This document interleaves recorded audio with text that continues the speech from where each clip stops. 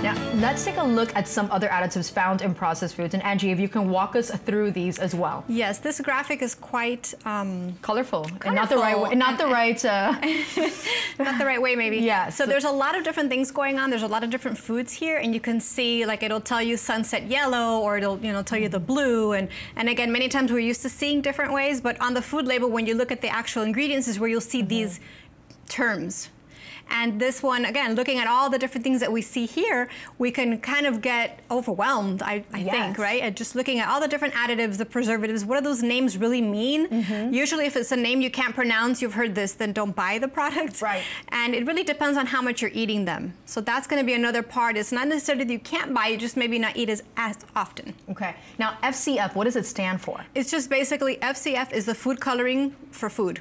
It's just additives that are safe to put in the food supply basically. And how many additives are there? There are like thousands, right? There are. I looked this up just the other day, about 2,700 food additives, including colorings and preservatives, and it's a lot, a lot of different stuff out there. So we're talking that most foods have additives. Correct. Wow.